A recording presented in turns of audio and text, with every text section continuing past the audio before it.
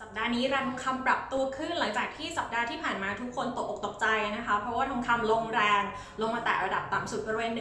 1,862ยูโรต่อออนซ์เลยค่ะสัปดาห์นี้ทองฟื้นแล้วนะคะ ขึ้นมาเคลื่อนไหวไม่ไกลจากระดับ 2,000ยูโรต่อออนซ์อีกครั้งหนึ่ง พร้อมกับข่าวที่ฮอตที่สุดในวงการทองค่ะ ก็คือการที่กองทุนขนาดใหญ่ 2 แห่งของโลก มีการเข้ามาลงทุนทองคำมากขึ้นในช่วงไตรมาส 2 ที่ผ่านมาค่ะ กองทุนแรกคือกองทุน Bridgewater Associates ของมหาเศรษฐีนักลงทุนอย่างนายเรนาริโอค่ะ เรนาริโอมีการเข้ามาซื้อหน่วยลงทุนใน SPDR Gold Shares นะคะ อีกประมาณ 1.4 ล้านหน่วยทำให้ตอนนี้เขามีหน่วยลงทุนใน SPDR อยู่ราว 15%ของพอร์ตค่ะ นอกจากนี้ Bridgewater ก็มีการเข้ามาซื้อนะคะ iShare Gold Trust เพิ่มด้วยทำให้ตอนนี้หน่วยลงทุนใน iShare Gold Trust ของเขาเพิ่มขึ้นเป็น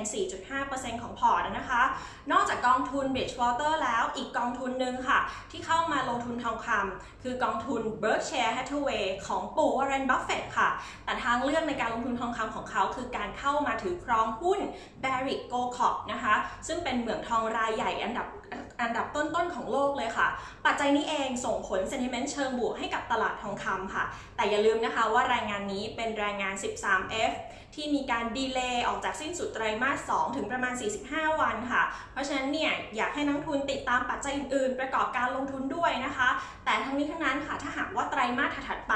กองทุนเหล่านี้ยังมีการเข้ามาลงทุนทองคำเพิ่ม ก็ถือว่าเป็นสิ่งหนึ่งที่ยืนยันได้เป็นอย่างดีค่ะว่า นักลงทุนรายใหญ่ยังใช้ทองคำ เป็นประโยชน์ในการ diversify หรือว่ากระจายการลงทุนของพอร์ตลงทุนค่ะสำหรับคืนนี้ติดตามประเด็นอะไร อาจจะติดตามเพิ่มเติมได้ค่ะ ผ่านทางรายงานการประชุมเฟดหรือว่า FOMC Meeting Minutes ประจำวันที่